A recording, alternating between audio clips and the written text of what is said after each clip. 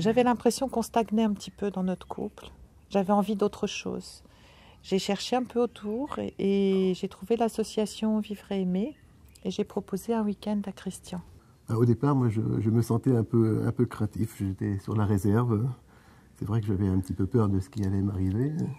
Et moi, quand je suis partie à ce week-end, j'étais confiante. Euh, j'avais, j'avais l'impression que Christian allait apprendre beaucoup de choses. Et puis, je me suis rendu compte que j'avais beaucoup de choses à apprendre aussi.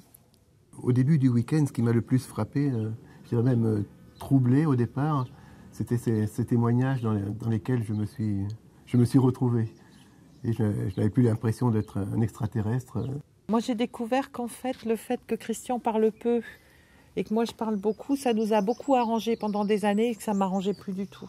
Moi, ce qui, ce qui m'a le plus euh, touché pendant ce week-end, c'est, c'est la découverte de, de mes sentiments. En fait, j'ai, découvert que, que j'avais des sentiments. Ils étaient tellement enfouis que je, je ne savais plus. Non seulement donc j'ai découvert que j'avais des sentiments, mais j'ai découvert que j'avais le droit de les exprimer. Ce qui est encore, euh, non seulement, comme dirait Isabelle, euh, non seulement le droit, mais aussi le devoir de les exprimer. Bah, Voilà. moi, ça me permet de mieux te connaître. Ça, ça hein. te permet de mieux, mieux me connaître, bien sûr. Cette histoire de que lui ait découvert qu'il avait droit d'exprimer des sentiments, j'avais l'impression qu'il manquait quelque chose pour aller à sa rencontre. Oui, moi, ce qui m'avait beaucoup étonné aussi, c'était le témoignage du prêtre, hein, Maurice, Maurice, oui. qui nous avait dit ses difficultés à s'accepter comme il était. Et j'ai pu le voir comme, euh, comme un, un homme. Un, être, un être humain, oui, tout avec simplement. ses difficultés. Mhm. Et c'était super ça.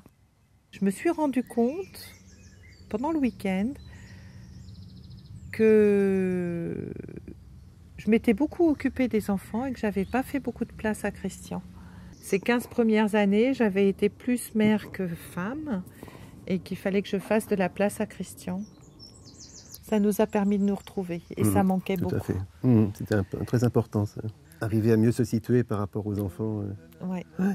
En tant que couple. Et à la rentrée du week-end, on a instauré l'heure des parents. Oui. Et ça, ça a été très important pour nous. Les enfants, c'était le moment où ils allaient dans leur chambre ou faire autre chose. Et c'était un temps rien, Rien que pour nous. nous. Rien que pour nous.